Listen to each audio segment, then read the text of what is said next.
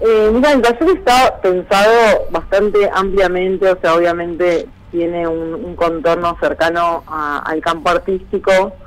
pero la verdad que los ejemplos que vamos a ver son eh, muy accesibles y, mi idea es que tenga una parte práctica que consiste en que cada persona construya un diario palincesto, o sea,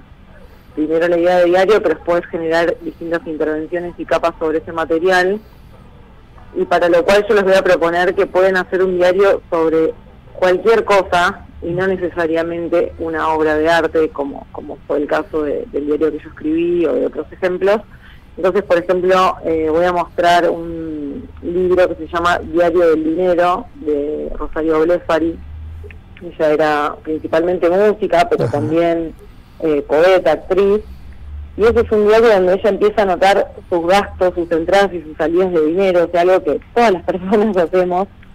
Y con esa excusa el diario va creciendo va agarrando un contexto político, un contexto artístico, bueno, y un montón de otras situaciones,